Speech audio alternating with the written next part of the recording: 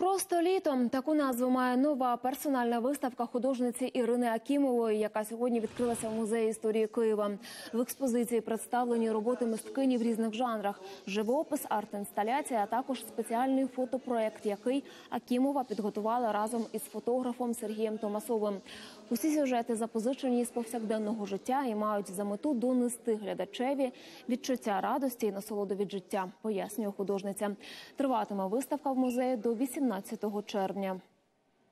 А Эти социальные проекты рефлектируют на э, те политические, неполитические темы, с которыми мы сейчас живем, что я поняла, что на самом деле ну, каждый обычный человек, ему надоела политика, ему надоела нестабильность, ему хочется какого-то позитива, вот любого. И лето – это, наверное, тот замечательный период времени, когда много солнца, когда дождь не дождь, потому что он заканчивается, солнце обязательно светит.